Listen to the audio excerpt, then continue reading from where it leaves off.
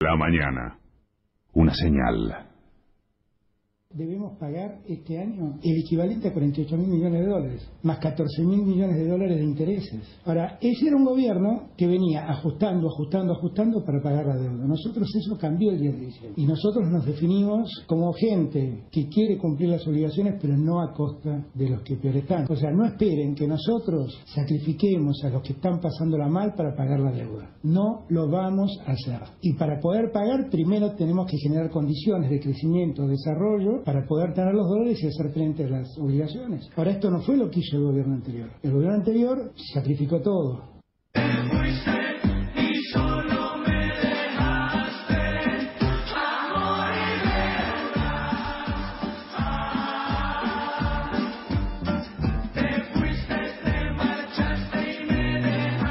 Buen día amigos, el día está como indeciso, o yo para juzgarlo, la cuestión es que está un poquitito más baja la temperatura, hay viento, el cielo está un poco nublado.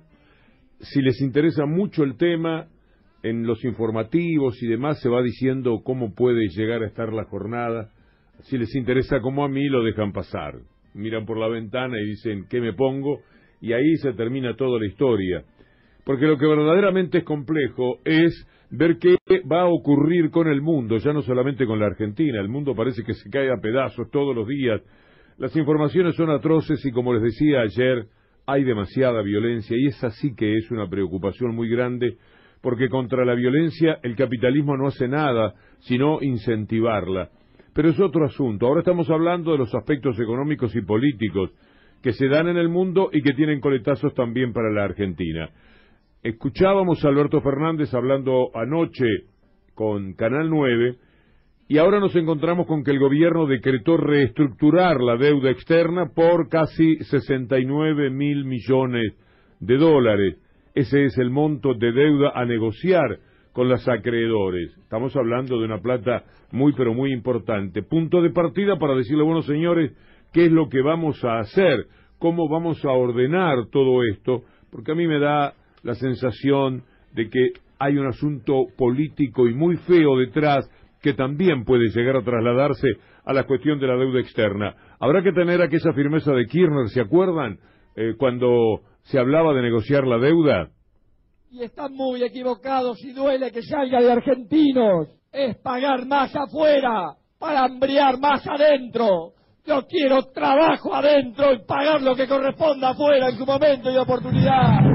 Hasta ese énfasis viene bien escuchar ahora que vamos a estar en una pelea muy importante en la cual hay un componente político que pone un olor fétido en todo esto. Lo del campo es político, está claro y lo admiten ellos mismos. Lo que le hicieron a Kisilov, no permitiéndole correr los bonistas hasta mayo, fue político. Y siempre detrás de todo esto el PRO. Entonces, si ya han jugado de esta manera, es muy probable que el PRO y los medios de comunicación que son el PRO en realidad, que son la quilla del barco neoliberal, trabajen para que lo de la deuda sea infructuoso, para que la Argentina esté verdaderamente condenada en este tema a un lío internacional interminable. Hemos asistido, como les decía, a demostraciones de que son impiadosos. Lo que admiten en materia de la pelea con el campo, la, pelea que el campo lanzó contra el gobierno y contra el país y contra el resto de la gente que no sea el productor, eh, es una operación política, es una jugada bochornosa, vergonzosa de quienes prometían. ¿Ustedes se acuerdan cuando Macri decía vamos a hacer una opinión constructiva? Se proponía, como siempre, una mentira. Lo que le estaban diciendo a la gente no tenía ningún tipo de valor y queda demostrado ahora cuando a cada rato están reconociendo los pasos políticos que se dan eh, por parte de la gente de campo. Por eso le quiero decir al presidente electo que él puede confiar de que después de mucho tiempo va a encontrar una oposición constructiva y no destructiva han llegado a tal extremo en la aceptación que dieron primero de que el paro es político, que H. Tony, charlando con el gato, ayer dijo una cosa que era de risa.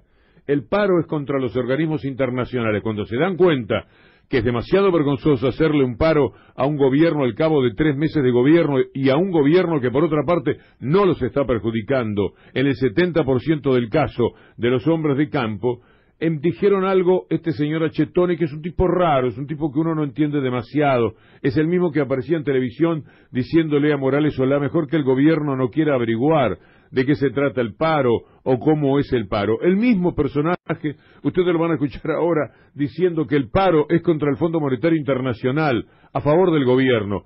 Por favor, prepárese para reírse con ganas.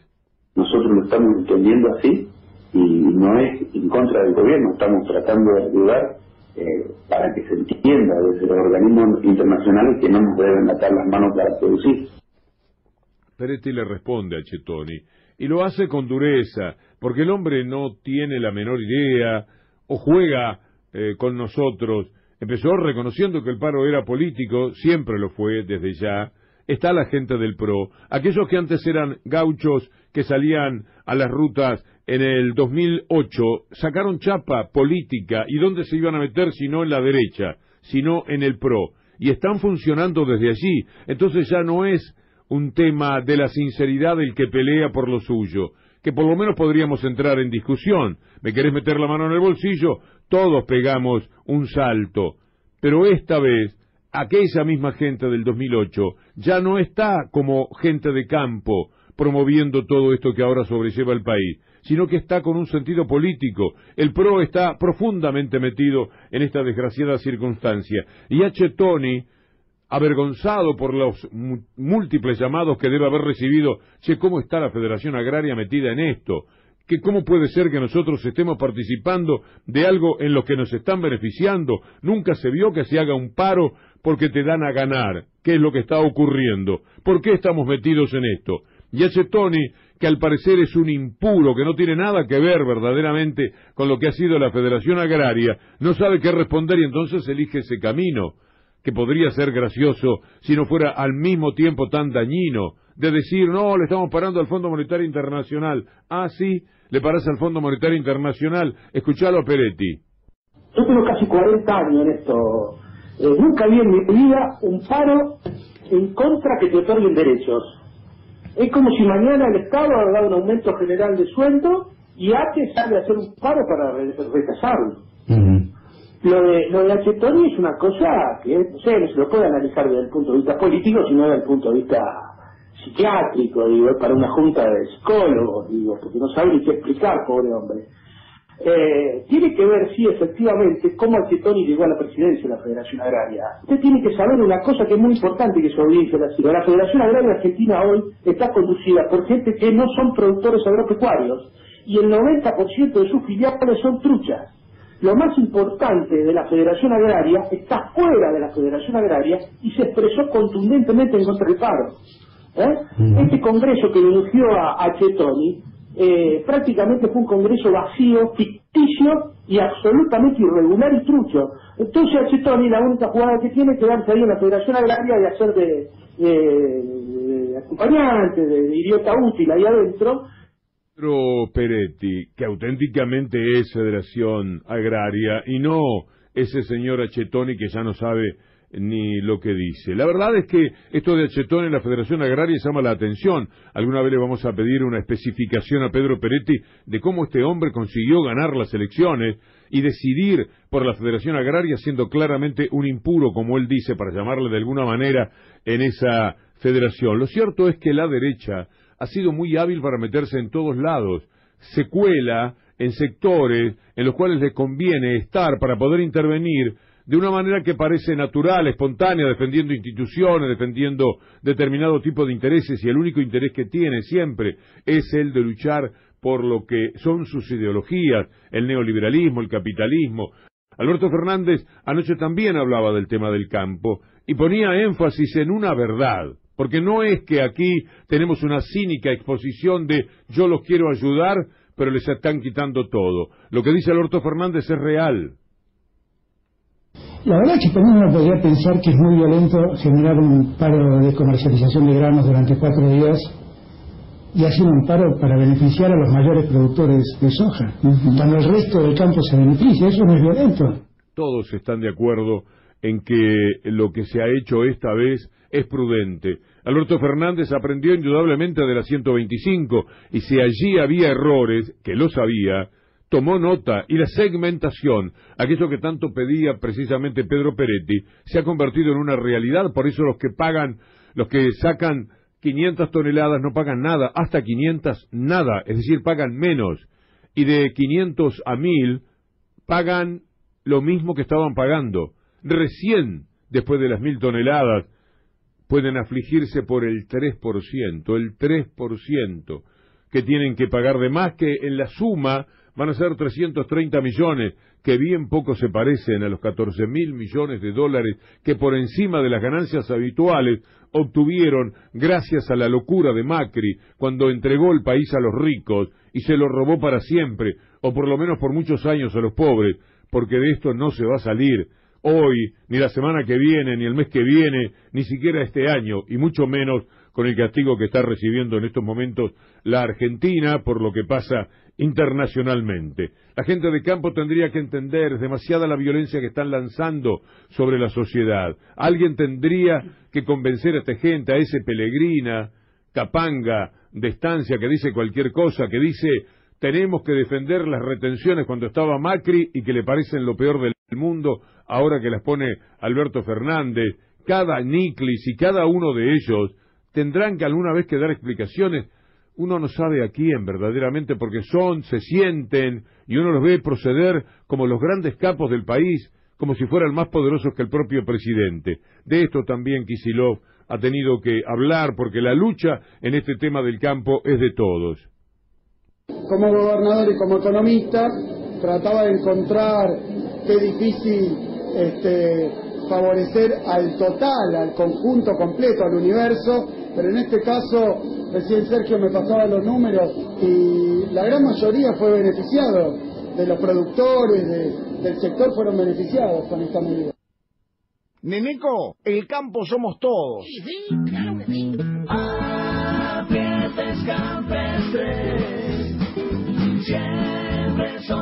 ¿Y cómo juegan los medios? Clarín y Nación empiezan Expo Agro ahora con el campo.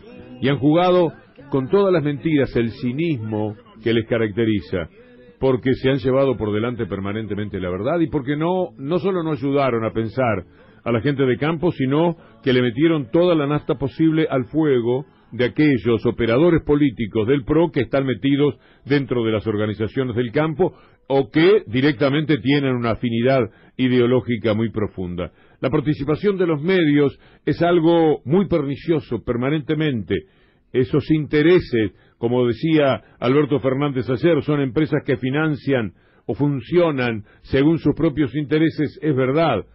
Algo habrá que hacer algún día, porque la verdad, lo cierto, es que el poder resulta absolutamente avasallador y es muy difícil, dentro de la culturización que ellos consiguen, plantear la lucha de crear conciencia de qué es lo que verdaderamente ocurre en la Argentina.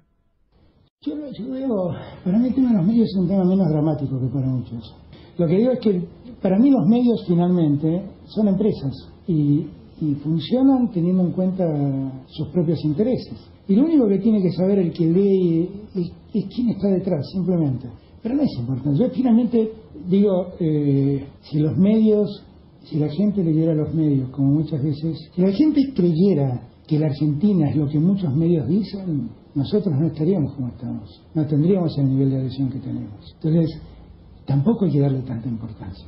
En todo caso, lo que tendrían que plantearse los medios es si están haciendo lo correcto.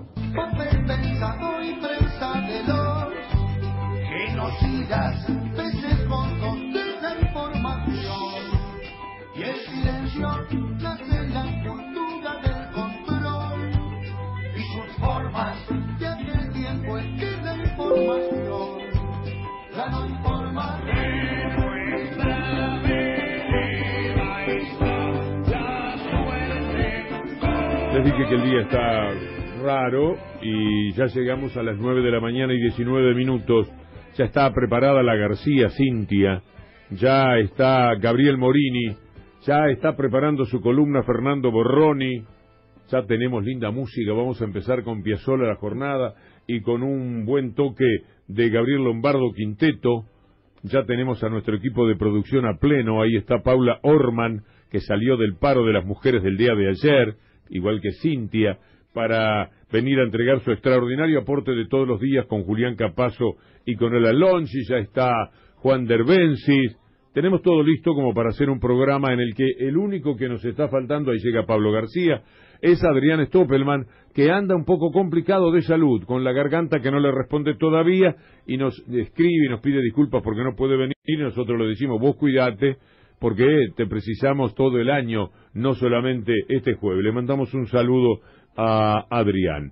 Anoche, viendo el programa de Juana Morín, me encontré con algunas expresiones muy interesantes de Beraldi sobre lo que está sucediendo con la justicia, porque ocurre algo muy particular. La conglomeración de medios de Clarín y Nación vienen jugando con la idea de que ha cambiado el signo político y por lo tanto está cambiando la justicia. Y Beraldi va a decir una gran verdad. No, no es así. Lo que ocurrió es que se desactivó la mesa perversa antirrepublicana de quienes estaban digitando la vida de la justicia en la República Argentina. Lo que saltó por los aires fue lo perverso. Ahora se está dejando funcionar a la justicia. No están metiéndose para nada y eso es evidente porque si no correrían eh, a través de las denuncias. Lo dijo muy bien Beraldi anoche. Yo, yo veo, para mí el tema de los medios es un tema menos... Hay una presentación que se hace de estos temas en varios de los medios hegemónicos, como que el cambio de gobierno generaría algún tipo de lentificación en las causas procesales o que esto significaría algún avance en favor de la impunidad. Y esto es absolutamente falso. En realidad lo que hay es la destrucción, me parece, de un concepto hegemónico que existía con una mesa judicial dirigida desde la presidencia de la Nación por Mauricio Macri y un grupo de jueces que actuaba de manera coordinada. Al haber caído después de las elecciones ese poder hegemónico, esa mesa judicial, creo que las cosas empiezan a tener otra vez el desarrollo normal. Es decir, que si aparece en decisiones en donde las personas que estaban privadas ilegítimamente de la libertad recuperan justamente la libertad, si hay imputaciones falsas que habían progresado y que ahora se demuestra a través de otras investigaciones que eran cargos totalmente insustanciales, bueno, lo que me parece es que lo que está ocurriendo es lo correcto. No hay una politización de las decisiones, sino todo lo contrario, una justicia que empieza a actuar como corresponde. Se desactivó aquella justicia, esa justicia, porque eh, es tan parte de nuestro presente que podemos hablar todavía como si nos habitara, esa justicia empieza a desactivarse, es cierto, ya no pueden mandar preso, reunirse con Zaguier, Pepín, Macri, eh, Laura Alonso y decir quiénes son los que van preso de cada jornada, no lo pueden hacer, esto es lo que provoca nostalgias en Mañeto y en Zaguier, porque ellos son los que motorizaban a esta gente para que actuaran desde la mesa chica, quitándole la libertad a todo tipo de persona.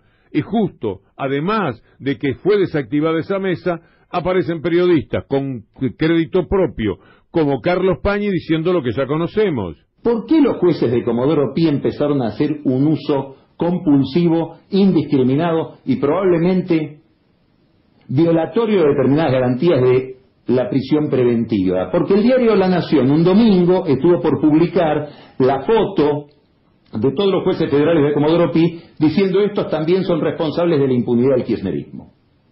Y varios jueces dijeron tenemos que desplazar esa tapa con otra noticia, mentámoslo preso a Ricardo Jaime. Y así terminó Jaime preso.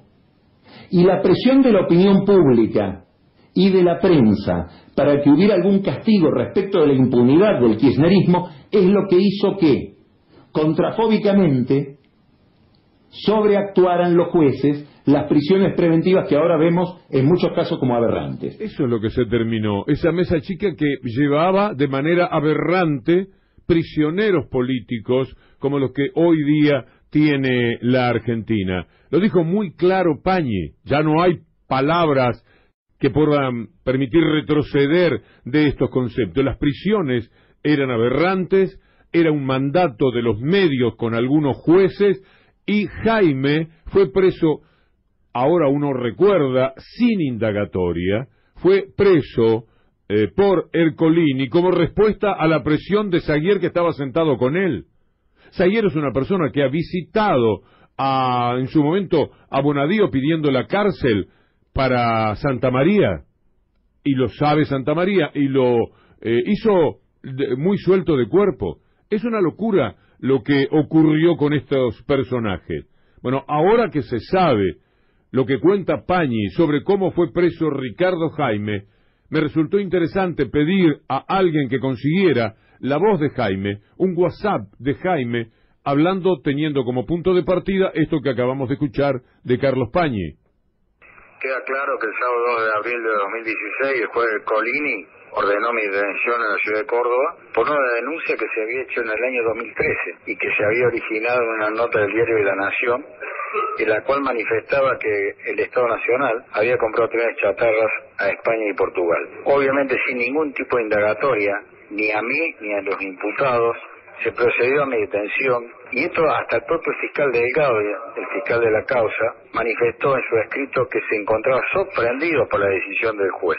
De todos los acusados que ya están siendo juzgados por el Tribunal 6, el único que fue privado de libertad fue yo, porque claramente quedó explicitado en la nota que todos hemos podido ver del periodista Carlos Paña en La Nación, en la cual decía que los jueces o deberían figurar la detención de exfuncionarios kirchneristas o si no iban a salir en la tapa de los diarios. Para nosotros está- claro que lo que se quería ocultar era la cara de Macri y sus cuentas offshore porque los Panama Papers iban a salir en ese, ese domingo 3 de, de abril. Ya han pasado más de cuatro años. La causa está totalmente paralizada y seguramente va a quedar nula porque si ustedes ingresan a Google van a poder comprobar que esos trenes, con más de 15 años de haber sido comprados y reparados en Argentina, están recorriendo las sierras de Córdoba, con el tren de la Sierra de Córdoba, están siendo utilizados para el proyecto ferrourbano de la ciudad de Córdoba que anunció el gobernador Schiaretti y el intendente Yarrola, y esto marca claramente la gran mentira de Macri, sostenida por jueces corruptos, que lo único que pergañaron es la, la persecución, la detención de aquellos que evidentemente pensamos una Argentina distinta.